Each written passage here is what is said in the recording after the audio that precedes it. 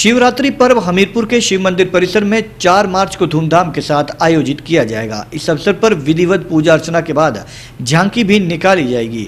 शिव मंदिर कमेटी के सदस्य मुनीश पुरी ने बताया कि शिवरात्रि पर्व को लेकर तैयारियाँ जोरों पर चल रही हैं और इस बार भी शिव मंदिर में पर्व धूमधाम के साथ आयोजित किया जाएगा।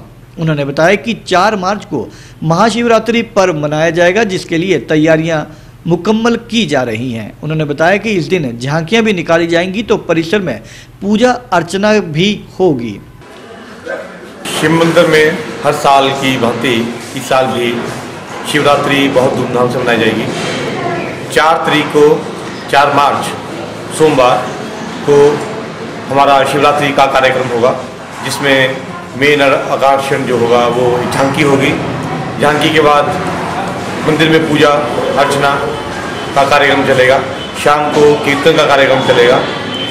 इसी प्रकार अगले दिन पाँच मार्च को भंडारे का आयोजन किया जाएगा, हर साल की तरह, जो बहुत विशाल भंडारा आपको पता ही है, होता है। उसमें हम सभी